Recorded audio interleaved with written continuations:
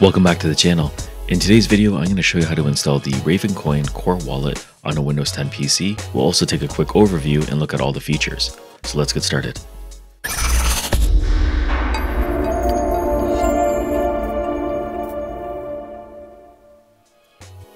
So we're going to start the installation at our desktop of a Windows 10 PC, and we're going to open up our Google Chrome browser. And at the homepage of Google, in the search field, we're going to type in Ravencoin. Ravencoin.org is the official URL, and it's the first one here in the list. So we'll click on that and let it open up. And right here at the home screen, you have a link right in the center that says Get Your Wallet. So you can click on this. Oh, there's an announcement here. 4.31 is the newest version. So that's one that we're going to be installing. So we click on the link. You can see that the iPhone and Android devices are supported. And if you scroll down a bit, we also have desktop versions, uh, which is going to be Windows, Apple, and Linux. We're going to be doing the Windows installation. So we'll click on the link and it's going to download automatically the 64-bit version. So it's not a very big file. Once it's done, we can just click on the setup file and let it open up. And I'll just minimize this and we can say yes to the user control prompt here, click on yes, and it can, will begin the installation. We can just click on next. We're going to be using the default folder. You can change that, but if you don't have a reason, just leave it as default. And then we can click on install, and it's going to install all the components. Um, because we're installing the newest version, it won't need to download anything else. We can, we're getting the most up-to-date version right now. And when it's complete, we can just click on finish. We're just going to make sure that Run Raven is selected and we'll click on Finish. And over here, um, it's going to give us the welcome screen for the directory that we wanted installed in.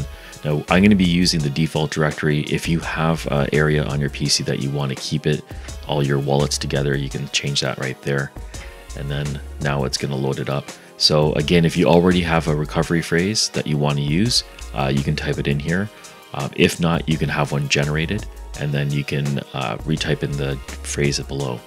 So I don't have one and what I'm going to do is I'm going to click on the generate button and it'll cycle through some words. If you don't like it, you can just keep hitting the generate button and it'll keep generating a combination of phrases. Though you don't have to remember this, you should definitely write it down, keep it on a piece of paper somewhere safe, and then you can just retype it below in the recovery phrase field. So once you have it entered in, you can click on import and it's going to start loading the wallet. We're going to get a Windows Defender link here for um, allowing access into the firewall. Uh, we want to allow access to this. And now it's going to try to sync all the headers and everything from the blockchain. Now, when you install the core wallet, you're installing and creating a node on the network. Uh, the entire blockchain needs to be downloaded and installed on your computer. You can see that we have three years and 21 weeks of uh, data behind. Now, it looks like it's syncing kind of fast, um, but this might take some time. So what I'm going to do is I'm going to just jump ahead uh, to when this has been completely synced.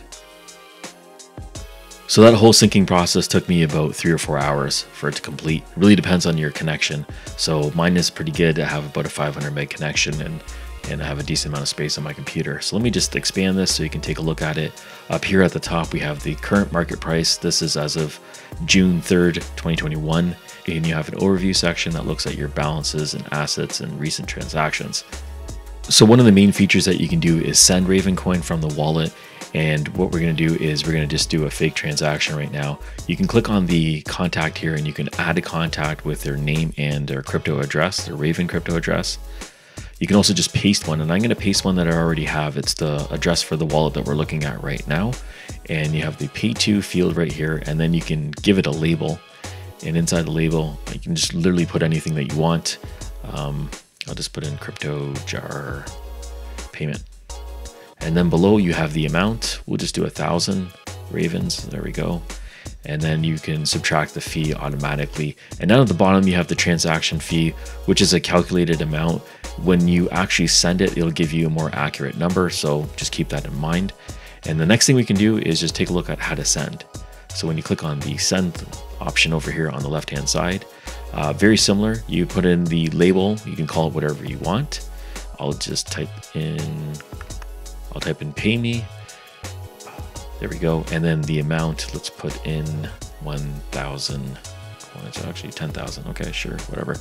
And a message. So you can type in whatever message you want, and then you can reuse this or you don't have to reuse it. Not recommended is what they say here. And on the request, you have the big QR code up here at the top. You can save that image and you can paste it. You also have the URI link and you also have the option to copy the address as well. Uh, so you have those three buttons there at the bottom. And this is the address and the amount and then the, and pay me. And this will all show up in the message if you just uh, click on the URI. And then transactions, you can search your transactions by the address, by the amount or asset name. And then on the left hand side, we have a few other options here. We won't get too much into detail for create assets and then transfer assets, manage assets, and restricted assets. Uh, that might be its own video on its own because we can go into a lot of detail with those uh, three components. Anytime you install a core wallet on your computer, the one the number one thing you definitely want to do is back it up.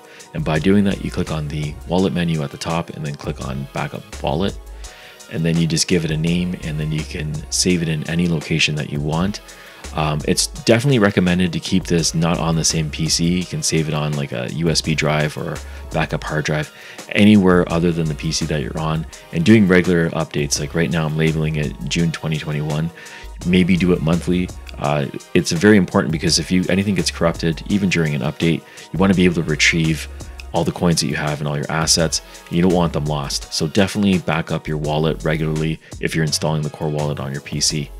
And this is an overview of how to install the Ravencoin Core Wallet on a Windows 10 PC. If you have any questions, please put them in the comments below. Thank you for watching, and I'll catch you on the next one.